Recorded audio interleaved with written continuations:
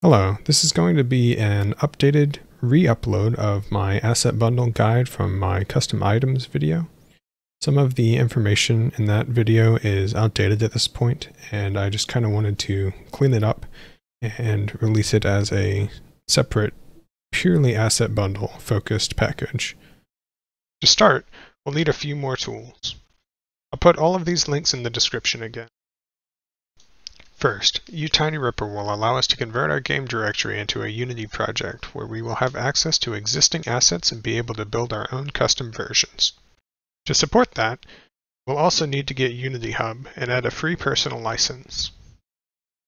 You'll then need to download Unity 2019.4.20, which you can get here with the Unity Hub download link after it is installed. After installing these tools, open up UTinyRipper and you should see this screen. You need to drag your entire game directory in.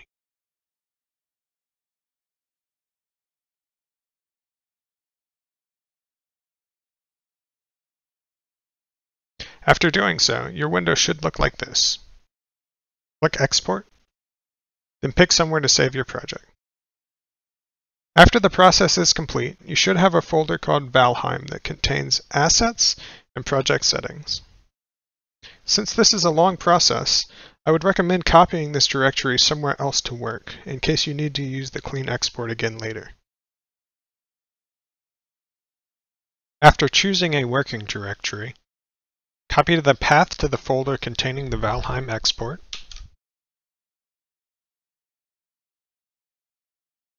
Open Unity Hub, select Add. Go to the path of your export, select the Valheim folder, and click Select Folder. You should see a project get loaded with Unity version 2017. Change the version to 2019.4.20. Then, click the project. We'll need to upgrade, so select Confirm. This process will take a minute. After the upgrade is complete, your project should look something like this. We are going to add a new version of the Iron Sword, so let's find that prefab.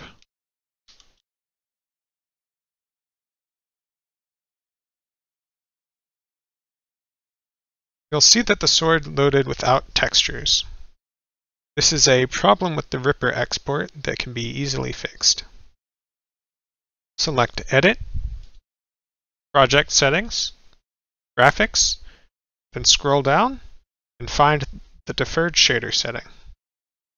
Change this from Custom Shader to Built-in Shader. Close the window. Additionally, some items don't load the mesh correctly. To fix this, select Viking Sword under Attach and change the shader to Standard. You should then be able to see the Iron Sword. To make our version, we're going to add a new folder to Assets called Custom Items.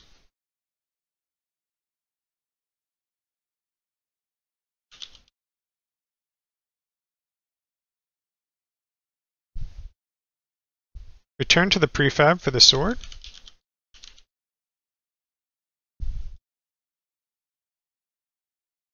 Press Ctrl D or go to Edit and select Duplicate.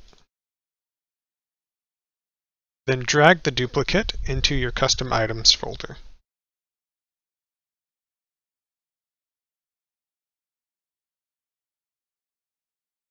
From here, we can rename the sword to anything we want.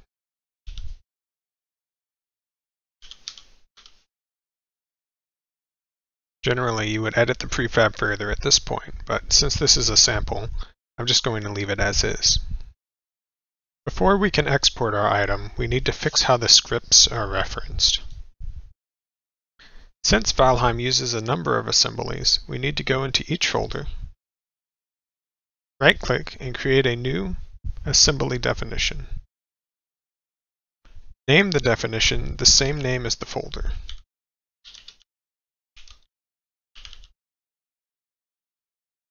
After you have created an assembly definition in each folder, you need to link them together to get rid of these compilation errors. To do so, click the assembly definition and add new references until the references are fixed. You can do this by hitting this button and picking whichever references you need to repair. As far as I can tell, the assembly references only need to be added to the assembly Valheim assembly definition this manner. You may need to add some references to the other definitions if you have further issues. After fixing the script references, we are ready to build an asset bundle. Go to Window, Package Manager, and find Asset Bundle Browser. Install this package.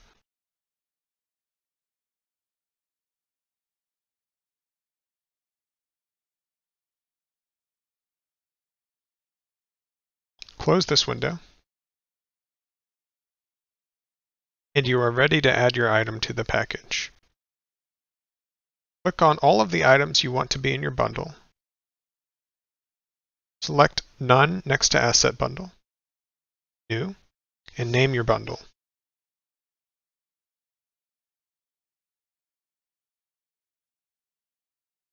After you are done with this, go to Window, select Asset Bundle Browser. You should see your created bundle. To build this bundle, click Build, and then Build. Navigate to this directory and reference to your Unity project. You should see your exported bundle. To get your bundle into your mod project, simply drag the file onto the project in Visual Studio. Then, click the bundle and swap the build action to embed it.